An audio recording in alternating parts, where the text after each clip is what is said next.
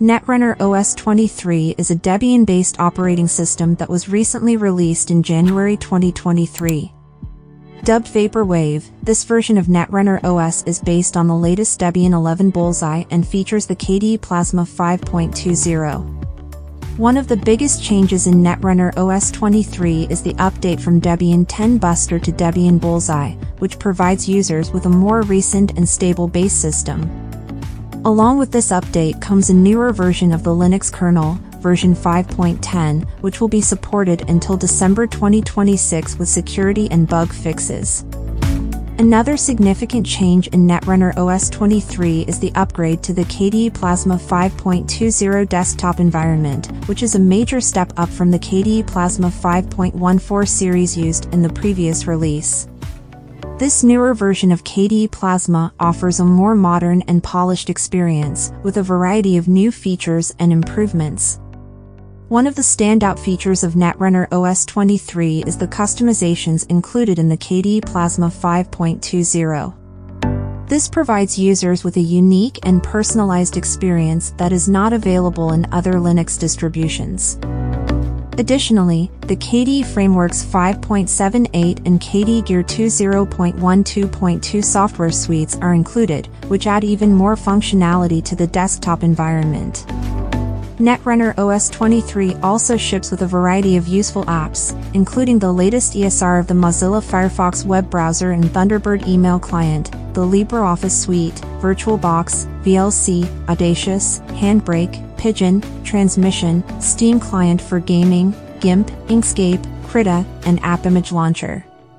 One of the most notable features of Netrunner OS 23 is the full-screen app launcher, which provides an easy way to access all of the apps installed on the system.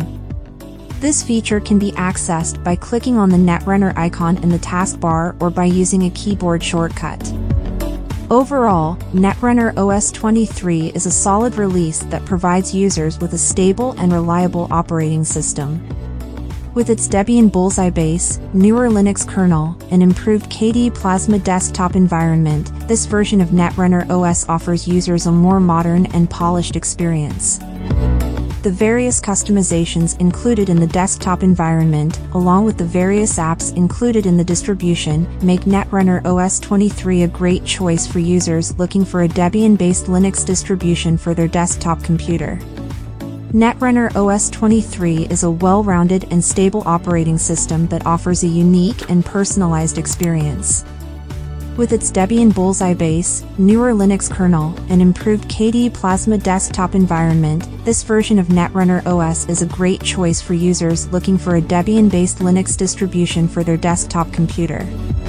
The various customizations included in the desktop environment and the various apps included in the distribution make Netrunner OS 23 a great choice for users looking for a Debian-based Linux distribution for their desktop computer. One of the strongest aspects of Netrunner OS is its stability.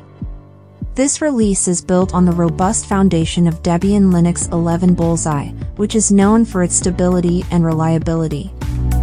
The long-term support for the Linux 5.10 kernel series also adds to the stability of the operating system. In my experience, Netrunner OS 23 runs smoothly and efficiently. One of the areas where Netrunner OS 23 excels is in gaming, thanks to its inclusion of the Steam client and support for running newer apps in the Universal App Image. The Steam client is one of the most popular ways to play games on Linux, and its inclusion in Netrunner OS 23 makes it easy for users to access a wide variety of games. The Steam client also provides automatic updates and cloud saves, making it a convenient way to manage your games. Another feature that makes Netrunner 23 a great choice for gaming is its support for the app image binary format. This format allows for easy installation and distribution of newer games and apps that may not be available in the traditional package format. This means that users can access a wider variety of games and apps, and also allows for the easy installation of newer games that may not yet be available in the official repositories. In terms of performance, Netrunner OS 23 performs well with its default settings, providing a smooth gaming experience. The inclusion of the long-term supported Linux 5.10 kernel series also means that users can expect a stable and secure environment for gaming.